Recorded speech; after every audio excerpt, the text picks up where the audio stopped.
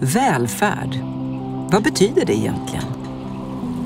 Hur ser Sveriges välfärdssystem ut och hur finansieras det? I den här filmen går vi igenom vad begreppet välfärd innebär och vilka välfärdstjänster du som svensk medborgare har tillgång till.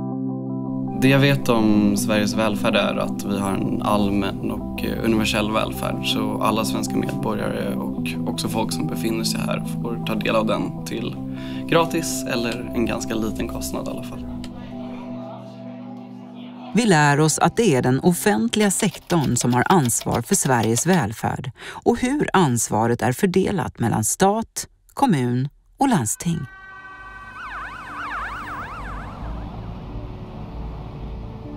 Vi tittar också på hur välfärdssystemet är finansierat och att en stor del av de skatter som går till välfärden kommer från alla de som arbetar.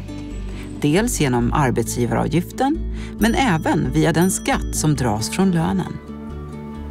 I filmen möter vi en expert som berättar mer om välfärden.